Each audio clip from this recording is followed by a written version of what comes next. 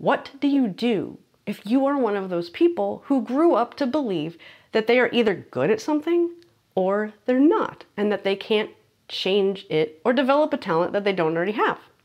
And what if you find that you really fear putting in effort because you're terrified of failing?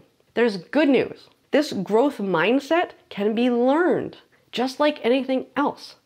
In fact, for many people, simply hearing that they are capable of learning how to do anything and that it's okay to not be good at something at first can take a huge weight off their shoulders.